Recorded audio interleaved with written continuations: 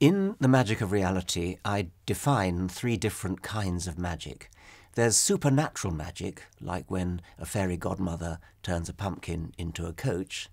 There's conjuring stage magic, like when a stage magician pulls a rabbit out of a hat.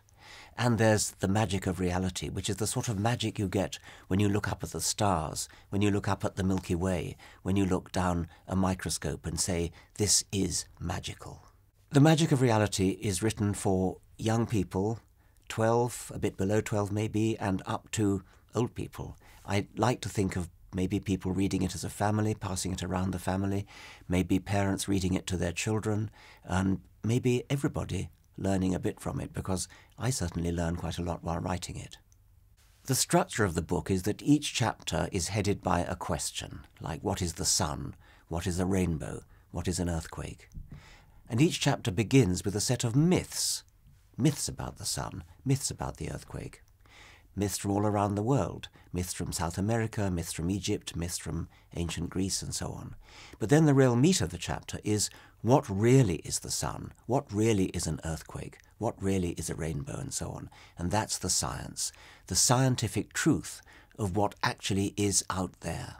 The book is illustrated by Dave McKean, who's a famous illustrator of books for young people. He's produced some beautiful imaginative paintings to illustrate the myths, and when it comes to the science in each chapter, his illustrations really do help to clarify.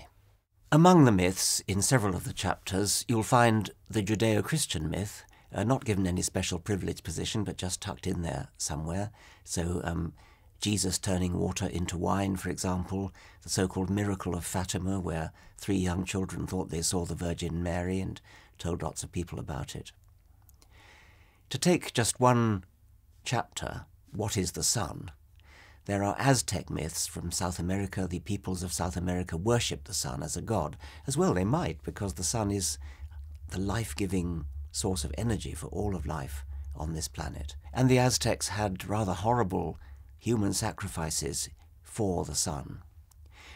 The ancient Greeks thought that the sun was a chariot being driven across the sky, a golden chariot driven across the sky. What really is the sun?